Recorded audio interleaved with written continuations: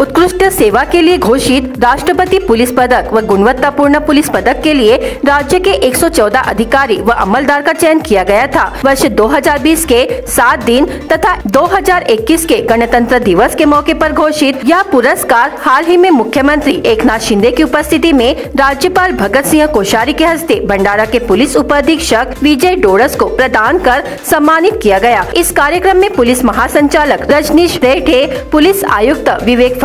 कर अतिरिक्त मुक्त सचिव आनंद लिम्बे आदि प्रमुखता से उपस्थित थे तक डोरस को 350 से अधिक पुरस्कार प्राप्त हुए हैं वर्तमान में विजय डोरस भंडारा के उप अधीक्षक पद पर कार्यरत है